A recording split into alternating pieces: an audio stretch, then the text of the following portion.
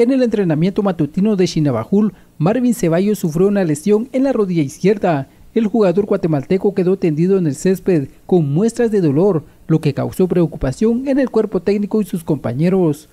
Luego de recibir los diagnósticos clínicos, se confirmó la ruptura del ligamento cruzado anterior de la rodilla izquierda. Aproximadamente estará de baja seis meses y deberá ser intervenido quirúrgicamente para comenzar con su recuperación.